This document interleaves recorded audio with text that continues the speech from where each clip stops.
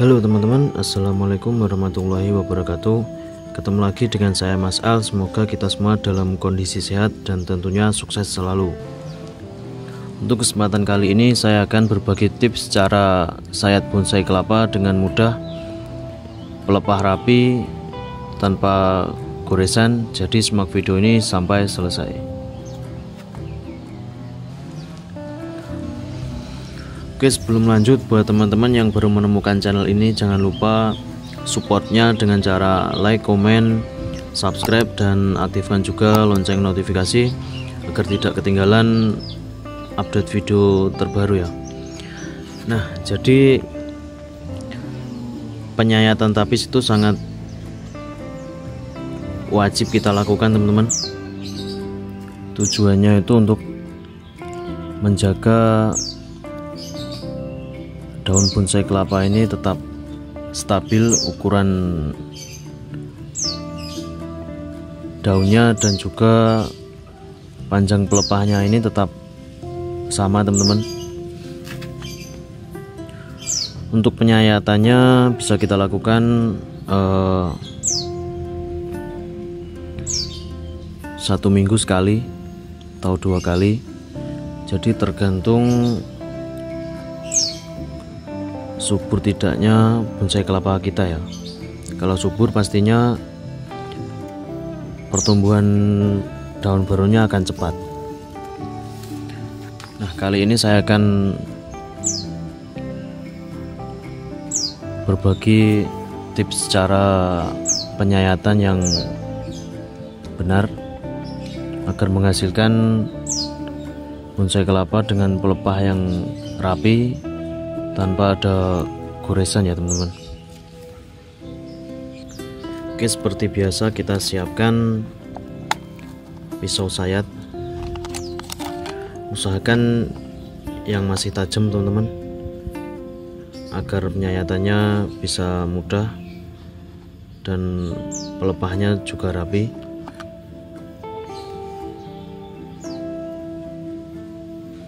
Kita rapikan dulu ini bekas pelepah yang sudah mengering. Nah seperti video-video sebelumnya yang saya bahas teman-teman. Jadi tujuan kita memotong kita sisakan kurang lebih 2 cm itu untuk menjaga bonggol ini tetap stabil ya ukurannya. Bisa teman-teman perhatikan dari pangkal ini sampai ke ujung ini ukurannya seimbang tidak mengecil. Jadi setelah mengering seperti ini bisa kita rapikan.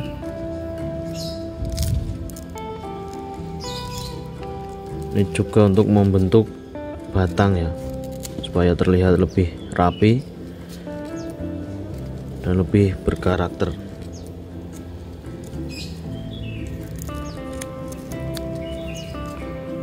usahakan memotongnya jangan sampai habis teman-teman. Kita sisakan. Kita tunggu sampai benar-benar mengering kemudian bisa kita bersihkan ya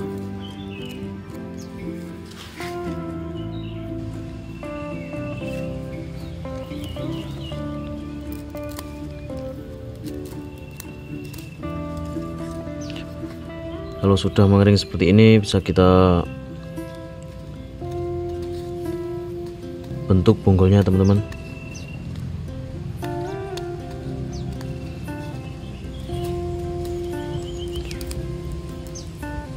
Nah untuk usianya ini kurang lebih uh, satu tahun setengahan ya.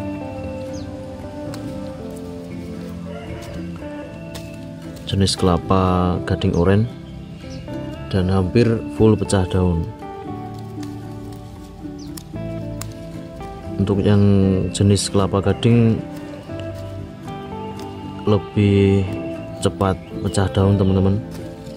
Biasanya di usia eh, 6-7 bulan itu sudah mulai belajar mecah daun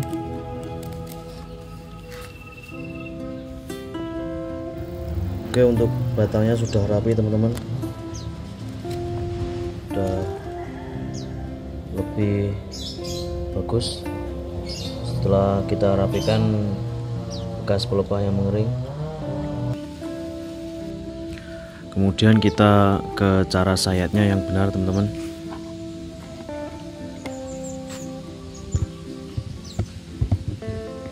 Oke yang pertama kita sayat di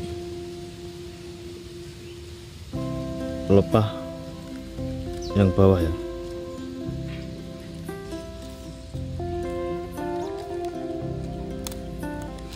Ini supaya uh, pelepah ini mudah mekar.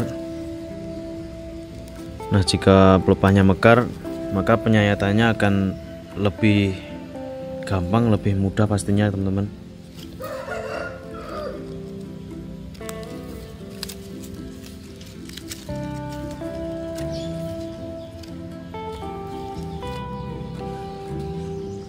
kita sayat agak banyak yang bagian bawah. Jadi ini teman-teman ujungnya ini cukup kita sayat sedikit ya. Jangan sampai dari ujung ini teman-teman sayatnya terlalu dalam karena akan berakibat kurang bagus nanti pelepahnya jika penyayatannya terlalu dalam cukup di bagian yang bawah sini ini trik untuk membuat pelepahnya mekar ya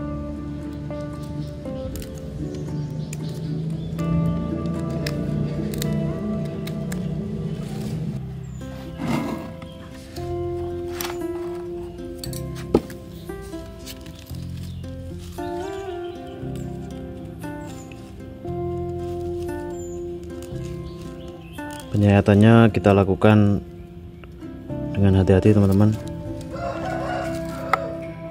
Nah, supaya tidak menggores pelepah yang baru ya. Cukup kita sayat pelan-pelan jangan terlalu menekan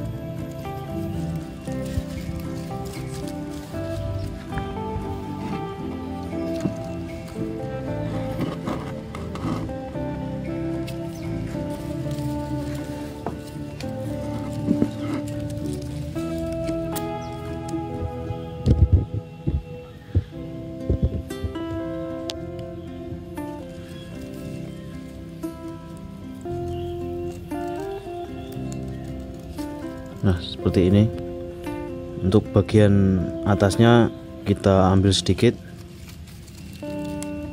Nah seperti ini teman-teman. Baru untuk bagian bawahnya agak kita tebalkan penyayatannya kita sayat sampai mentok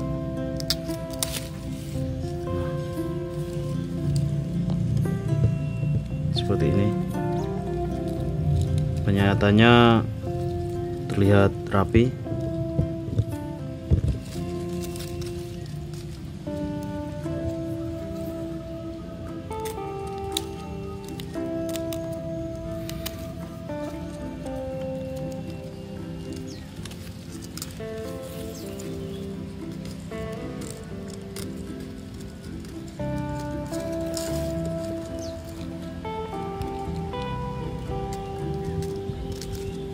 nah kita ambil sedikit seperti ini. Kita tarik kemudian sayat.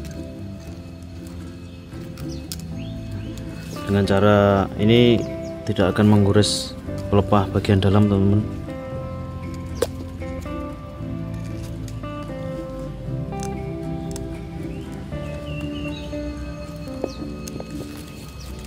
Nah kalau pelepahnya bersih tanpa terkena sayatan pasti akan lebih bagus teman-teman bonsai kelapanya.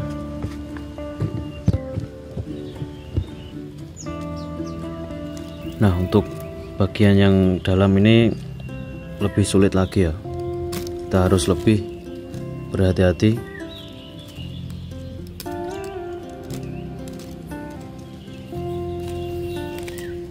sambil kita lengkungkan teman-teman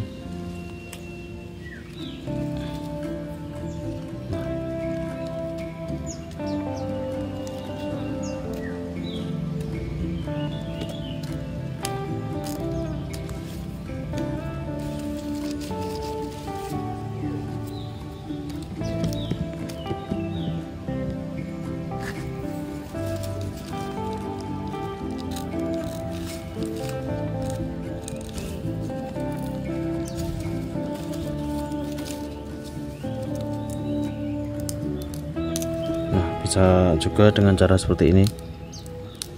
Nah ini kita tarik. Cukup kita sayat pelan-pelan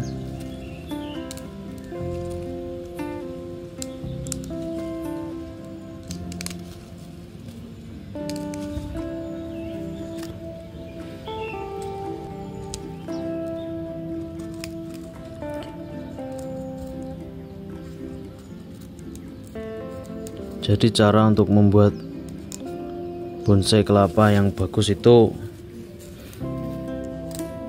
di penyayatannya teman-teman.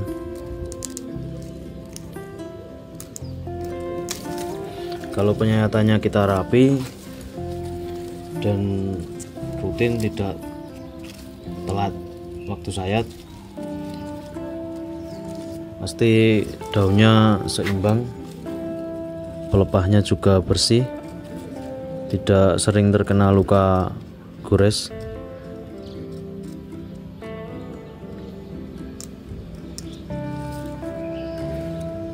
Untuk yang tengah ini gampang terkena pisau ya kalau kita tidak lakukan dengan hati-hati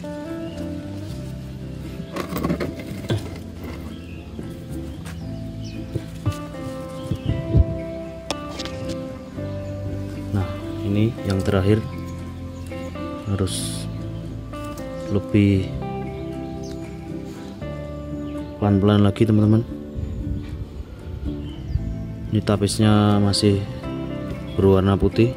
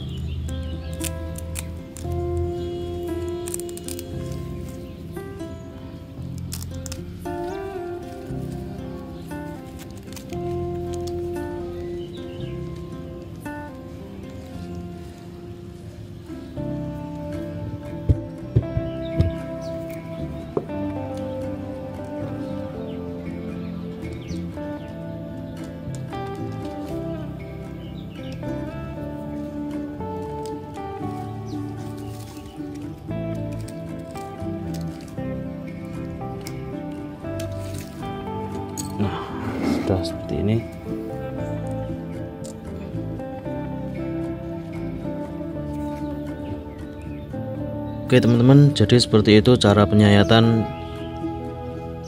dengan mudah pelepah rapi tanpa goresan.